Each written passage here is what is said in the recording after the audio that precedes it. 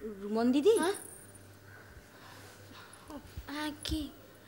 তুমি দাদার খাবারটা রেডি করো? হ্যাঁ সেটাই করছিলাম। ইস কত দেরি হয়ে গেল আজ দাদার খেতে। নন্দিনী দিটা না? নতুন বৌদিমণি তো কোনোদিন এত দেরি করে না।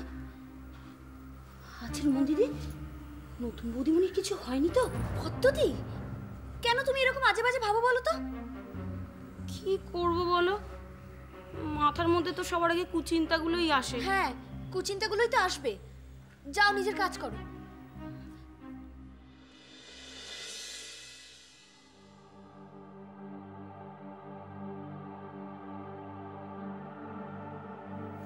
আঙ্কেল আন্টিকে ফ্লাইটে তুলে নন্দিনীদি কোথায় যেতে পারে?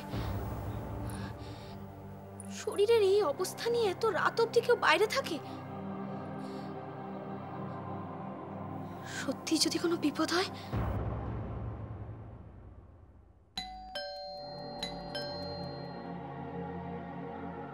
হয়ে এলো। তুমি দাঁড়াও আমি খুলছি।